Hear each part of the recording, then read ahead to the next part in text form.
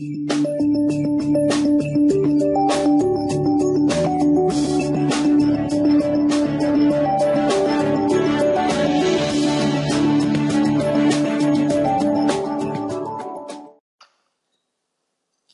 to this short video introducing a new standard in the Environmental Management Systems family, EN ISO 14006 2011. The video will give you a brief overview of what the standard is, why it was written, and how to learn more about implementing it through a series of webinars and one-day workshops organized by the Institute of Environmental Management and Assessment and run by the Centre for Sustainable Design. The new standard was published on the 8th of July 2011 as a British standard BSEN ISO 14006 2011. Importantly, it is a guidance standard and cannot be certified in its own right. It will help organisations to establish a systematic and structured approach to the incorporation and implementation of an eco-design process within an environmental management system, primarily but not exclusively conforming to ISO 14001.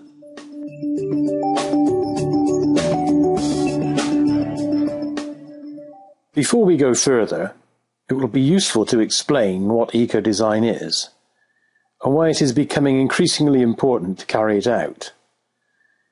Eco-design, or as it is sometimes called design for the environment, is the systematic identification of environmental aspects in each of a product's life cycle phases that lead to adverse environmental impacts, and the adoption of appropriate design measures to reduce and improve these impacts.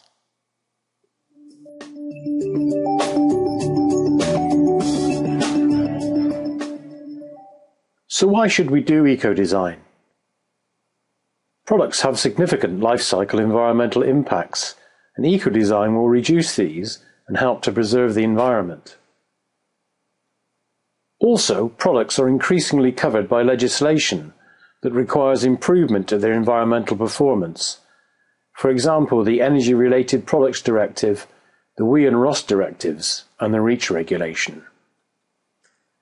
Eco-design can also be beneficial to the organization, leading to increased competitiveness, cost reduction, promotion of innovation and creativity, identification of new business models, and improved public image.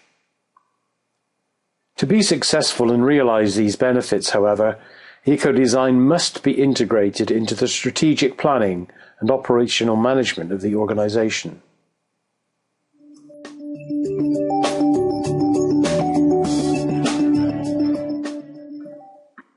So why is a new standard needed? Firstly, because the degree to which environmental impacts of products are addressed in implemented environmental management systems varies widely. Experience has shown that many EMSs tend to stay site-focused, or organizations only consider product impacts in the manufacturing stage, thus neglecting to take a full life cycle perspective, which is the cornerstone of eco-design. Secondly, because ISO 14001 and other eco-design related standards do not address all the necessary processes and activities required for eco-design.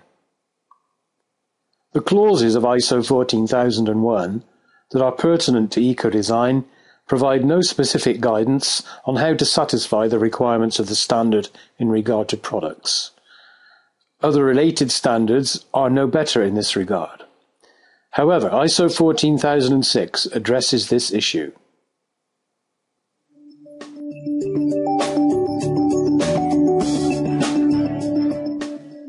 The inability of ISO 14001 and other related eco-design standards to address all the requirements for successful eco-design is shown on this slide.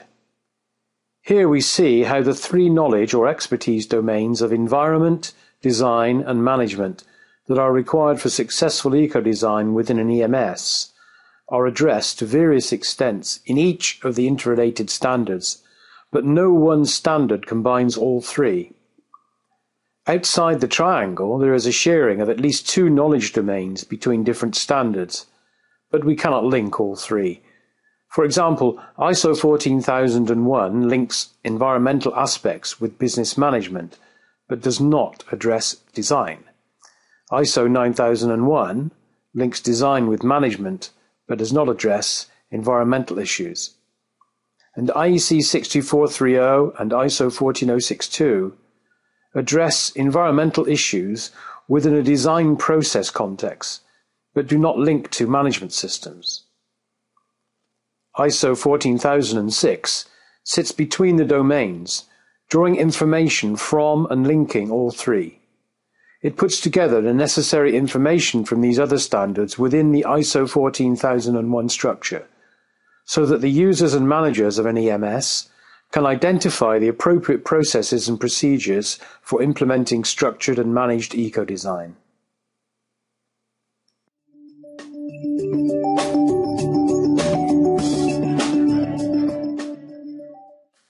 So who will need to understand and use this standard?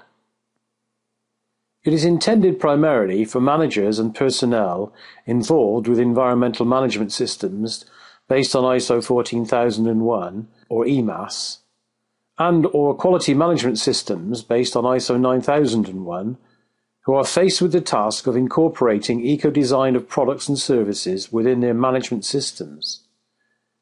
However, it is not sufficient just to train EMS and QMS personnel for successful eco-design.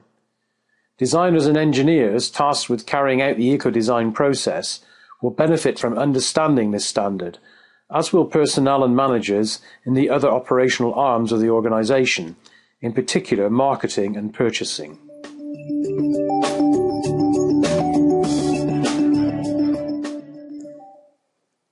To help in the understanding and implementation of this standard, and to encourage eco-design, the Centre for Sustainable Design and the Institute of Environmental Management and Assessment are planning a series of webinars and workshops. These will be run by Martin Charter and Vic Clements from the Centre, who are convener and UK expert respectively on the ISO working group that wrote ISO 14006. The first webinar is planned for the 30th of November 2011 and a workshop will be held at the Centre for Sustainable Design on the 6th of December 2011. Further workshops approved for CPD points will be running in early 2012. Further details on these webinars and workshops are available from the Centre for Sustainable Design or the Institute at the websites shown. Thank you for watching.